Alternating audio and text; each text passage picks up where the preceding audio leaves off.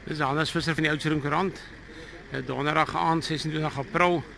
Ek is bo in Kerkstraat by 'n botsingstoneel waar hierdie voertuig so 'n paar minute gelede deur heining gebars het. Volgens die bestuurder het hy hier met Kerkstraat opgekom hier van onder af. En toe hy op die draai kom met 'n motor van voor af gekom, die ligte het hom verblind en hy het uh, nie die draai gesien nie. Hy is toe hier links van die paal verby deur die heining tot hier in die veld. Uh, die bestuurder het nie seer gekry nie.